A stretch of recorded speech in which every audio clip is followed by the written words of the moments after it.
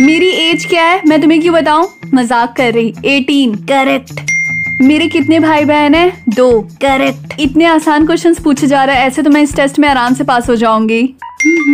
मेरे भाई की फेवरेट कैंडी क्या है? वो एक कैंडी खाता तो रहता है उसका नाम क्या है? याद नहीं आ रहा है घर जाके पूछ लूँगी। चिंकू ये तुम क्या खा रहे हो? हाँ जेली मल्स करेक्ट मुझे वापस करो। मैं एक ले लूँ? नहीं मुझे दो। हाँ मैंने तो ले लिया। मेरे इंस्टा पे कितने फॉलोअर्स हैं? ये मेरा मज़ाक बनाना चाहते हैं क्या? दो सौ। करेक्ट अरे दो सौ एक हो गए। मैं इतनी खुश क्यों हो रही हूँ?